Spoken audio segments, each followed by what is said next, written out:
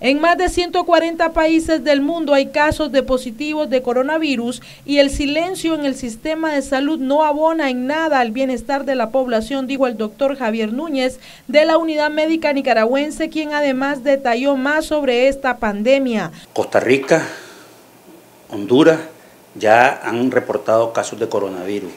Nicaragua aparentemente no hay, digamos, este caso todavía reportado. Sin embargo, el secretismo, el secretismo que mantiene el Ministerio de Salud, creo yo que no es lo correcto.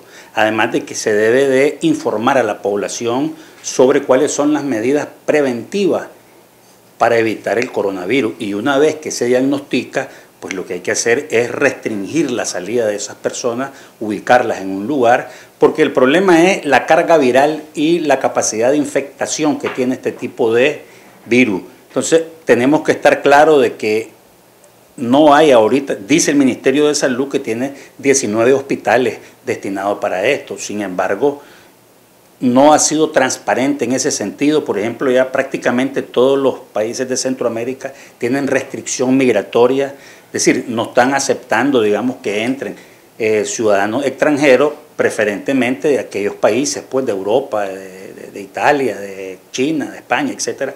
Y es precisamente para eso, para evitar el nivel de infectación.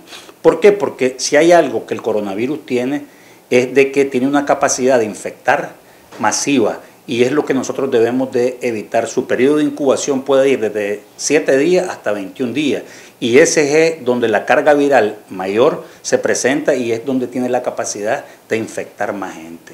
Recordemos que al final, pues esto no es nuevo, ya han habido cepas de coronavirus que han infectado anteriormente, pero que la hemos resuelto.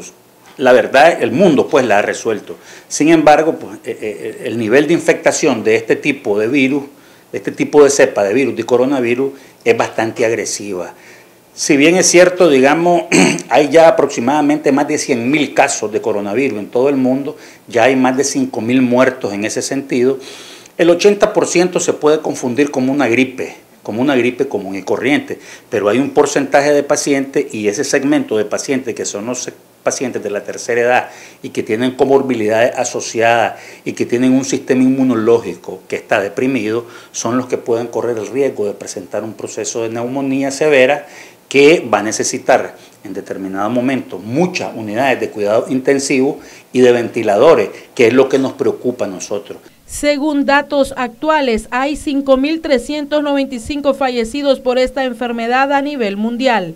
Para Noticias 12, Castalia Zapata.